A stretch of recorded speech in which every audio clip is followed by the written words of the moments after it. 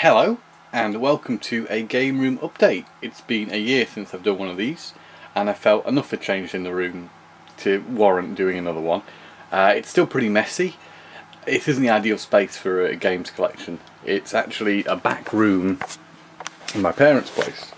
Uh, all my games are still here since I moved out pretty much but you know I got a few things in Denmark but as you can see here this this corner is their uh, sort of household stuff and actually my DVD collection as it was when I moved out, pretty much. Uh, and over here is the is the games room. Um, but uh, I'd say it's the games corner because it's actually only the corner of the room around here. It's all about video games. So if you've seen one of these uh, videos before, not much has changed in the general layout. This is still a bit of a mess in the corner. Now 3DS games, empty game boxes stacked up there. I much prefer those small little cases you can get that fill multiple 3DS carts. Uh, so, but I'm not going to chuck away the boxes of course, so they stack up there. And of course you can get better storage for Game Boy games, so they stack up there. And yeah, and PS2 games seem to stack up here. And also in this cupboard somewhat, I think. Um, yeah. So that's my Xbox in there, kind of trapped between Dreamcast games. Uh, this one doesn't work very well. The disc tray is a bit dodgy, so uh, I've since got a green one, which you might have seen in one of my Paris pickup videos, but I've not kind of installed it into the setup because this is very temporary still. Until I do move out to a place in the UK at some point in the future, then these things will be coming with me. So yeah, you've got some extra bits in here, some NES games, some Super Nintendo games. These are Super Famicom actually, and, and these are just NES, 3DO. Saturn games are sort of littered around where they can fit. Really. Same with Dreamcast games. And there's, I think there's Wii games behind those Dreamcast games as well. The CDA, oh, the CDI games pile is stacking up nicely here with a few recent additions underneath Terry's backside here uh, such as a fantastic light gun game Who Shot Johnny Rock uh, I won't say this is fantastic it's the uh, Palm Springs Open golf game with uh, what's it? It boasts to be the first golf game with uh, real golfers, digitized characters. I thought that could be a laugh, really, and it was incredibly cheap. Labyrinth of Crete was a game I've been interested in for quite some time. It's a, uh, a puzzle game. And International Tennis Open. Uh, I thought it was a good way to try some two-player on the CDI. So, they're the recent CDI editions. Just place them back on there. Put Terry on top. Oh, Terry, doesn't seem very happy. Uh, here's a new uh, Game Gear underneath this is Lemmings card. Or is it a new Game Gear? It's my old Game Gear, sorry. This is the one with the screen doesn't work properly.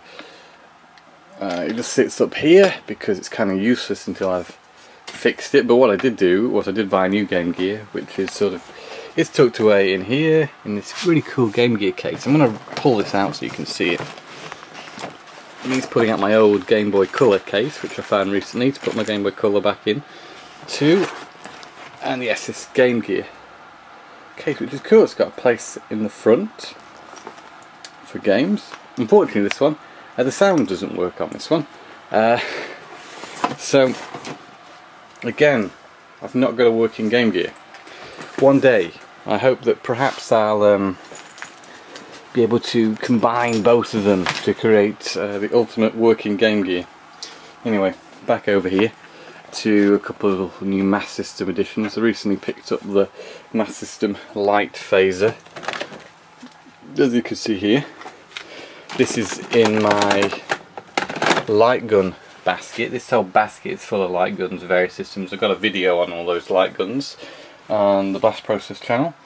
Uh, guitars for Guitar Hero, it's the Beatles one, one of the Beatles guitars. Rambo 3 is great. I'd recommend if you get a light gun for the Master System, pick up Rambo 3 with it because it's really good. Laser Ghost, yeah, I'm not so keen on this game. Uh, this game was part of the bundle of the light with the light gun, and this you can't sort of aim around. You can't even seem to be able to shoot above the. You can protect this little girl. You can't seem to shoot above her head, so you just have to pull the trigger. Now I may be missing something, but it doesn't seem like the most fun game. Let me know in the comments if uh, I'm not playing that correctly, but it just just seems a little bit dull. Uh, this is a really nice gift of uh, my friend Mel. She got us this uh, Super Mario Brothers uh, flask. That's cool. There's a stack of Famicom games. Finally got Sonic CD. It's on there on the top of the pile because it's probably the best game on the Mega CD. Uh, Sonic games, yeah, yeah. Sonic Knuckles. I got that recently as well. That's in one of the pickup videos. Really happy to finally have a box copy of Sonic and Knuckles. Something that's tucked away behind it. Oh, it's. Uh, SNK versus Capcom or Capcom versus SNK there for the uh, Neo Geo Pocket but this is what I wanted to show you this is Time Killers it's a fighting game for the Mega Drive or Genesis this is the American version of the game and 20 quid it was quite good for quite a rare uh, fighting game uh, for the Mega Drive so uh, this is quite gruesome uh, comedically so, comedically so. So that's a that's a fun game to have, and it's not as bad as you might think it could be. And I think there's a few more new Mega Drive games up here. I probably since last video I've added the Double Dragon 5 in there, which is the one-on-one -on -one fighter, Dragon Fury, Mega Games 3, Double Clutch, and NBA Jam which I picked up in Denmark from a nice shop in Aarhus called uh, Epic Panda. Uh, I don't think there's too much new here. This has become the uh, home of Game Gear games. Uh, Sonic 2, Sonic Chaos, Lemmings, kind of hand picking, cherry picking should I say, Game Gear games. Uh, I know both Sonic 2 and Sonic Chaos are great games from the mass, my time with the Master System versions and of course I collect Lemmings games and the Game Gear Virtual Lemmings is a good one. Here I've put all my Xbox 360 games minus I think the 4 or 5 I've got in Denmark at the moment which are backwards compatible with Xbox One. So yes, it's the 360 games. They've now found their place there. It's a bit of Shin Shinobi Den, which I was just going to have a bit of a bash on. There, This is a new uh, Japanese Saturn pickup I got recently. Uh, the uh, European copy costs quite a bit nowadays, whereas the uh, the Japanese one is uh, slightly more affordable. That's uh, a good classic sort of Shinobi game, uh, similar to Revenge of Shinobi, but with digitized sprites. looks funny. It's like it also has a sense of humour, you know, as evident in this live action cutscene at the beginning of the game. Uh, but yeah, there's the uh, Saturn. This is a uh, PAL Saturn with a action replay enabling to play imports on it. Previously I had and still do have a Japanese Saturn, a grey one, which I don't tend to use anymore now because this seems to be able to do everything but it's in a box somewhere. My 360 sits underneath that, seems to be fine way using it at the moment. CDI down there, uh, it's a multi-region DVD player. And there's a PS2 with what's this big massive thing on top of it you may ask? Well it's a multi-tap but it's also a switcher for SCARTs uh, I haven't got that part of it to work yet but uh, yeah I thought it was pretty cool. Uh, but it is massive. There's a DVD remote as well. It's kind of an all-in-one strange little system where you uh, connect this into the front, of course for the multi-tap, but then it's also got something like this you stick in the back of the PS2 and that does something with the uh, the SCART switching, but I've not really worked out to do that quite yet. Uh, up here, N64, been playing a bit of Pokemon Stadium lately and uh, got my Pokemon Yellow in there so I can play that on the TV, just training up a level 50 team. Uh, it's my Dreamcast, I also got this Dreamcast cover. Yeah, this was this was cool. I like it, but it was very expensive. Unfortunately, they charged me extra uh, tax, shipping tax on on this and this other one here, which is for the uh, NES. I mean, great things, but by the time I've paid the extra shipping uh, tax on top of the shipping and the price of the items, yeah, I'm not going to be ordering from there again. uh, there's a Wii. here's my mess of cables. This is currently how I uh, split everything. I don't use this yet, so I've got a SCART box here, uh, labelled up. But I only tend to switch out this one, so yeah. I, I know I'm... It, you'd think it'll be a mess, but yeah, it, it seems to work okay for me at the minute. Uh, obviously, in the future, I'll have a much better system for that sort of thing. Uh, here's a few Xbox games up there. Now, I've packed a lot of my Xbox games away purely because uh, they were piled up on the floor in here and I couldn't really, well, it was a bit of a mess. So considering it's, I don't get to play on these games a lot when I don't live here, so I just put them away. There's my GameCube collection. Pretty much there's a few that are in Denmark and then a few Wii games and as I mentioned before a lot of the Wii games are in that cupboard or they're empty box in that cupboard well and they're in um, uh, a disc wallet in uh, Denmark. So down here uh, there's Mad Dog McCree for CDI in box with a light gun. Here's some recent acquisitions of mine. Uh, FIFA Street 2 is a really fun game very affordable obviously being a sports game. PokePark 2 is really impressive actually. Uh, wasn't sure what to expect from that game but it's great. You play as a Pokemon, an island full of Pokemon uh, playing little games and such. It's a kid's game but it's uh, really really well made and really enjoyable. Silent Hill Shattered Memories, Digimon, Rumble Arena 2, Metal Solid 2 Substance and Marc Ecko's getting up for the Xbox. They're all games that you know I picked up reasonably recently and um, you know in the process of playing.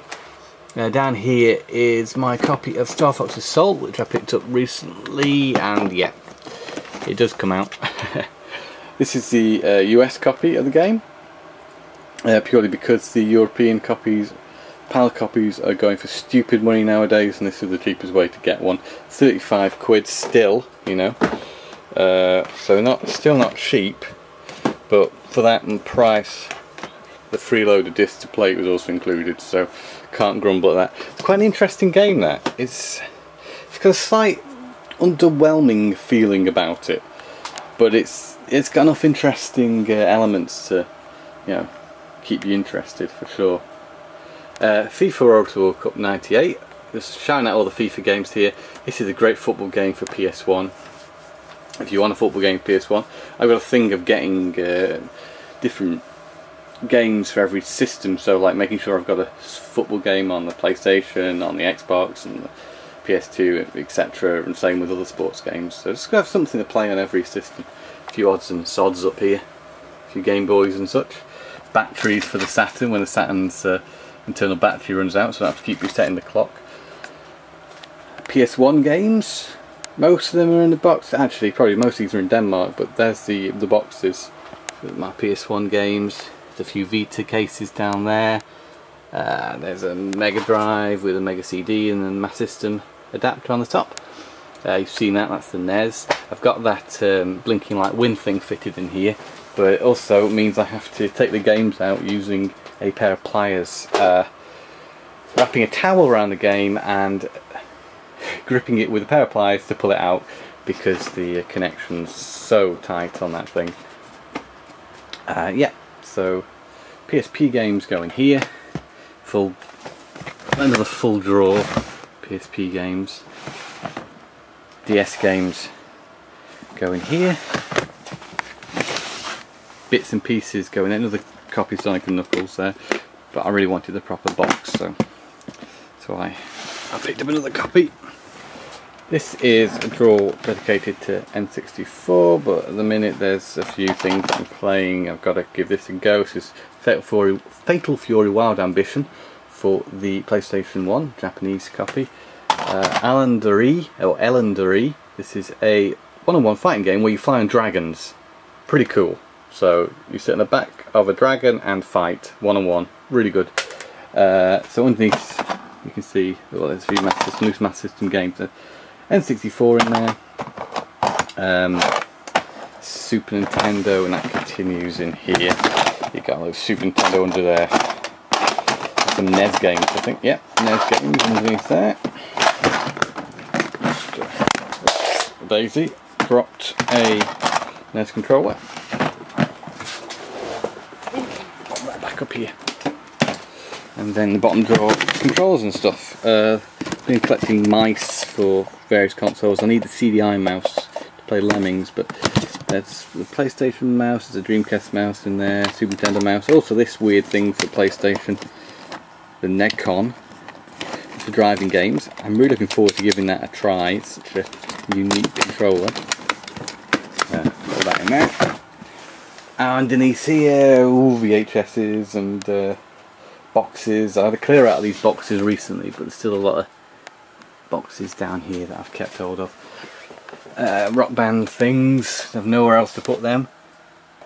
Controllers, mm, various consoles, more controllers. Uh, this is where underneath these batteries and these things, it's Game Gear games and uh, I think there's um, Game Boy Color, just various handheld cartridges in here. So it's all a bit of a, a bit of a mess, to be honest. One day I'll have a proper games room and I'll certainly uh, share that, but for now, this is it. My games room, games corner, and until next time we meet, uh, that that is it. So I hope you've enjoyed uh, this quick tour around uh, the games room. Uh, it's what it's like at the moment, subject to change of course, but uh,